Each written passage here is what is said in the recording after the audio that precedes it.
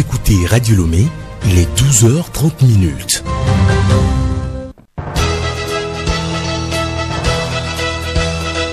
Le journal Geneviève Bognon.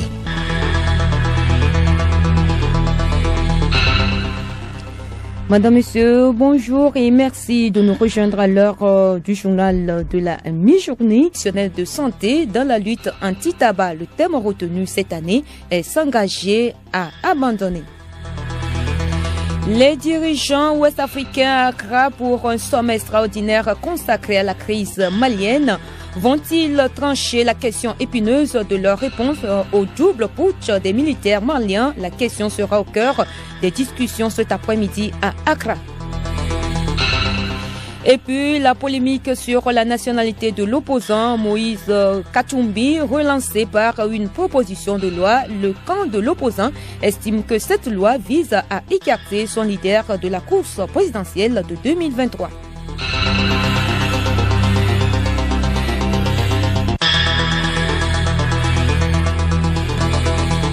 radiolomé.tg Une fois encore, euh, bonjour. Je le disais tantôt, la communauté internationale observe demain 31 mai la journée mondiale sans tabac. L'Organisation mondiale de la santé, l'OMS, estime qu'en 2020, le tabac était la principale cause de décès d'incapacité avec plus de 10 millions de victimes par an. Le tabagisme entraîne plus de décès à travers le monde que le sida, la tuberculose, la mortalité martinelle, les accidents de voiture, les suicides et les homicides La journée mondiale sans tabac vise à mettre l'accent sur le rôle décisif joué par euh, les professionnels de la santé dans la lutte anti-tabac. Mathias Begbeni.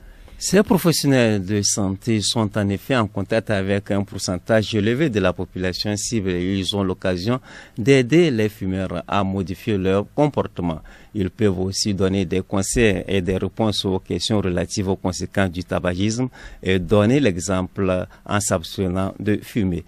S'arrêter de fumer est parfois un véritable parcours de combattants et des alternatives au sevrage total du tabac font régulièrement leur apparition. Acupuncture, homopathie, sophrologie, médecine douce, voire cigarettes électroniques.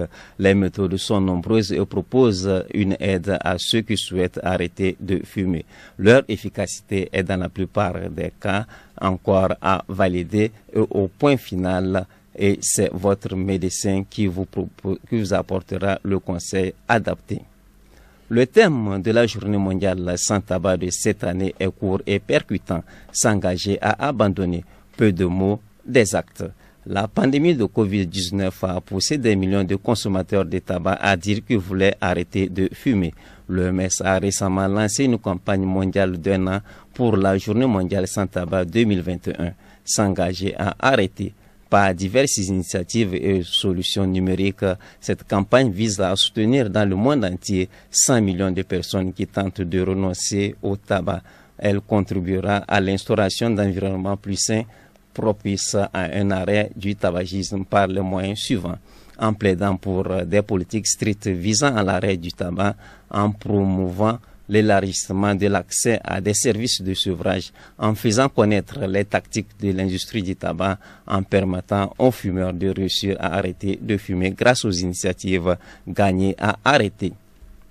Dans le monde entier, quelques 780 millions de personnes disent vouloir arrêter de fumer, mais seulement 30% d'entre elles ont accès aux outils qui peuvent les aider à surmonter leur dépendance physique et mentale au tabac en collaboration avec ses partenaires, le MES va fournir aux fumeurs les outils et les ressources dont ils ont besoin pour réussir à arrêter cette campagne, s'appuiera sur des groupes d'anciens consommateurs pour apporter un soutien à au moins 100 millions de personnes qui s'efforcent de renoncer au tabac. Merci à toi, Mathias Gbigbeni. Autre sujet de cette édition, l'ONG La Voix éclairée des enfants démunis lutte contre les grossesses précoces non désirées. Elle a organisé hier à Lomé une table ronde autour du thème grossesse précoce non désirée, responsabilité du genre dans la famille. La rencontre qui a regroupé plusieurs autres ONG et associations œuvrant dans le domaine se situe dans le cadre de la journée internationale d'action pour la santé de la femme.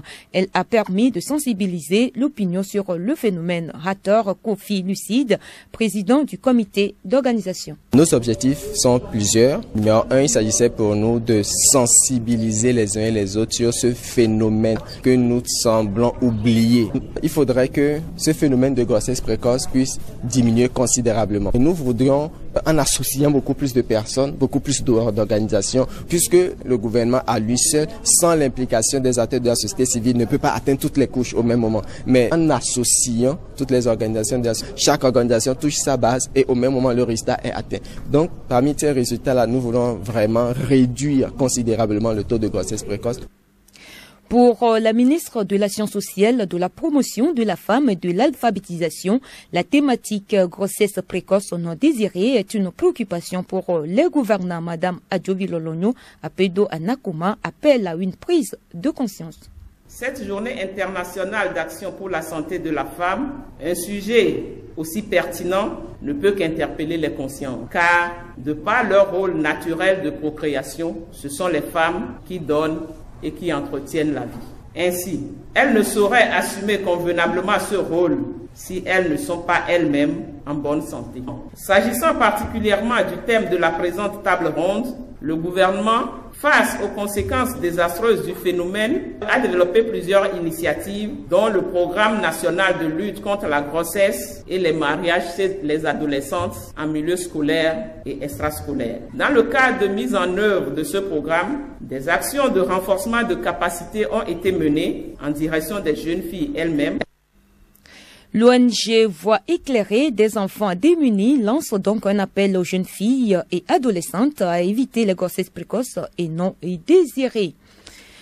L'actualité, c'est aussi l'État togolais qui, dans sa volonté d'améliorer l'efficacité des services agricoles pour assurer leur contribution à la croissance économique du pays, a procédé dans les années 90 à la restructuration de ces services par euh, la création d'un certain nombre de nouvelles structures, dont l'Institut de conseil d'appui technique ICAT en juillet 1997. Ce dernier a évolué par la suite pour devenir un établissement public à caractère agricole jouissant d'une autonomie de gestion.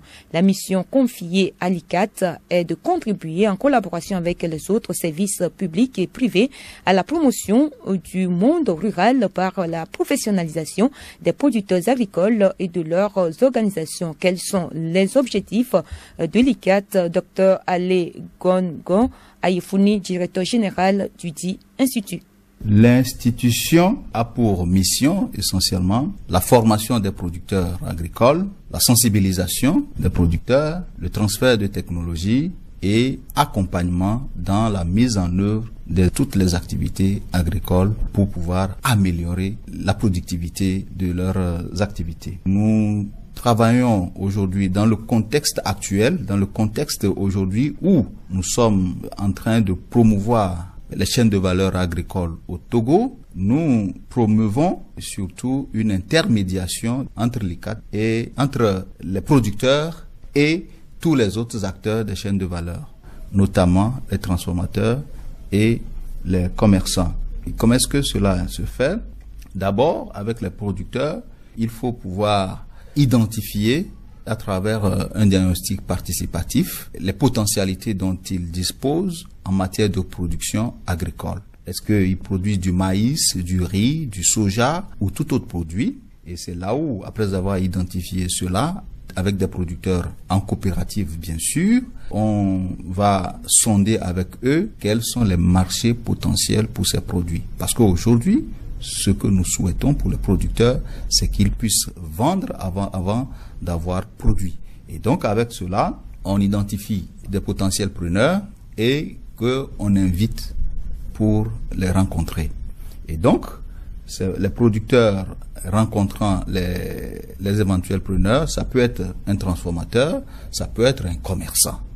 Et nous les appelons souvent des agrégateurs. Et donc, ils échangent et puis ils peuvent se mettre d'accord sur un contrat de production. Et c'est là où Maintenant, avec les producteurs, on va élaborer leur plan d'affaires et pouvoir élaborer également un plan d'action, un plan d'appui accompagnement pour qu'ils puissent aller dans la production pour satisfaire le contrat qu'ils vont signer avec euh, l'agrégateur. Donc euh, l'ICAT a également une mission d'organiser les producteurs en coopérative, en union de coopérative, voire même euh, en fêtière. Et ceci leur permet de pouvoir eux-mêmes prendre leurs responsabilités dans les différentes activités, notamment dans les négociations avec euh, les autres acteurs comme les fournisseurs d'intrants pour acheter en gros, acheter groupé et également avec les commerçants pour faire également des ventes groupées. Le journal Geneviève Bognon. À l'étranger, au Burkina Faso, la Fédération des syndicats de l'éducation et de la recherche apporte euh, son soutien aux élèves en lutte depuis plusieurs semaines contre la réforme des examens. Le ministère de l'Éducation nationale avait annoncé des réformes au niveau des examens du BPC du bac, parmi lesquelles la suppression d'un sujet dans certaines matières et l'organisation du bac qui reviendra au ministère de l'Éducation nationale et non à l'enseignement supérieur. Selon les élèves, cette réforme aura pour conséquence un contingentement du nombre d'étudiants à inscrire dans les universités publiques. Suite aux dernières manifestations, un élève a succombé à ses blessures après avoir reçu un projectile. Au lendemain de la déclaration de la Cour constitutionnelle du Mali, selon laquelle le colonel Assimi Goïta occupe désormais les fonctions du président de la transition, ce dernier a quitté hier Bamako pour Accra au Ghana. Il participe à une partie du sommet extraordinaire des chefs d'État de l'institution sous-régionale. Nous retrouvons Mathias Bebeni. Les chefs d'État et de gouvernement de la communauté des États de l'Afrique de l'Ouest, CEDEAO, se retrouvent à partir de 14 heures locales GMT dans la capitale ghanéenne en sommet extraordinaire exclusivement consacré au Mali. La CEDEAO a invité le colonel Goïta à venir à Accra dès samedi pour des consultations, indique un courrier de l'organisation. L'engagement pris pour une transition civile est foulé au pied suscitant le doute sur les autres, à commencer par la tenue d'élections début 2000 2022. La junte a dit ces derniers jours qu'elle comptait respecter le calendrier, mais a ajouté qu'il pouvait être soumis à des aléas.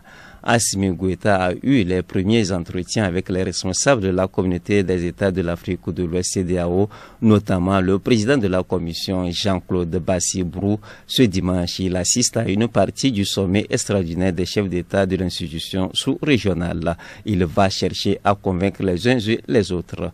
Autre problème, des textes adoptés par la CDAO interdisent aux militaires auteurs de coups de force de s'asseoir dans le fauteuil présidentiel. Là encore, le colonel Assimi Goïta a sa ligne de défense. Selon lui, les lois maliennes l'autorisent. Il avance le cas d'un ancien président malien porteur d'uniforme à Accra sur la table des chefs d'État des schémas de sortie de crise avec ou sans le retour du président de transition déposé en attendant à Bamako l'arrêt de la Cour constitutionnelle qui déclare le colonel président de la transition et chef d'État fait débat. Le communiqué de la Cour constitutionnelle rendu public tardivement vendredi en début de soirée semble avoir pris de nombreux partis politiques de cour. L'Union pour la République et la démocratie URD, parti de la défunte figure de l'opposition, Soumaïla Sissé, avait condamné la démission forcée du président de la transition Bandrao et du premier ministre Mokhtar Wan. Aujourd'hui, le premier vice-président du parti, Salikou Sanogo, prend acte de la confirmation du colonel Assimi Goïta comme nouveau président. En tout cas, l'engagement pris pour une transition civile est foulé au pied, suscitant le doute sur les autres, à commencer par la tenue d'élections début 2022. La junte a dit ces derniers jours qu'elle comptait respecter le calendrier, mais a ajouté qu'il pouvait être soumis à des aléas. Merci à toi, Mathias. La situation est grave, mais sous contrôle dans l'est de la République démocratique du Congo après l'éruption du volcan Niragongo et l'évacuation de plusieurs centaines de milliers d'habitants de la ville de Goma a assuré hier le président Félix Tshisekedi. C'était au cours d'une conférence de presse le président qui a jugé qu'il fallait absolument évacuer la ville en référence à l'évacuation soudaine ordonné jeudi dernier alors qu'on ne sait toujours pas ce qu'il peut se passer.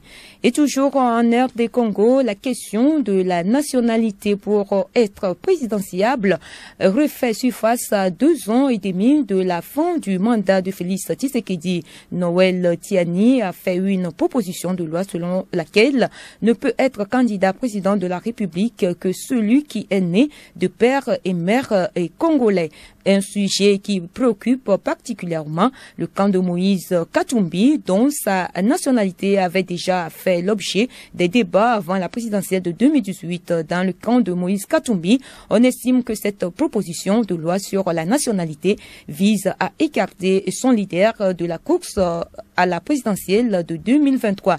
Pour sa part, Moïse Katumbi rappelle que la question de la nationalité est déjà réglée par la Constitution.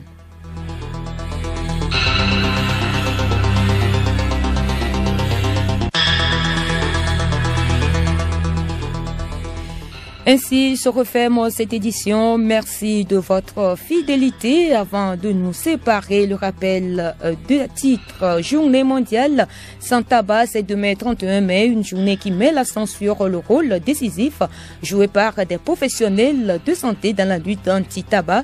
Le thème retenu cette année est s'engager à abandonner. Et puis les dirigeants ouest-africains pour un sommet extraordinaire consacré à la crise malienne vont-ils trancher la question épineuse de leur réponse au double putsch des militaires maliens. La question sera au cœur des discussions cet après-midi à Accra.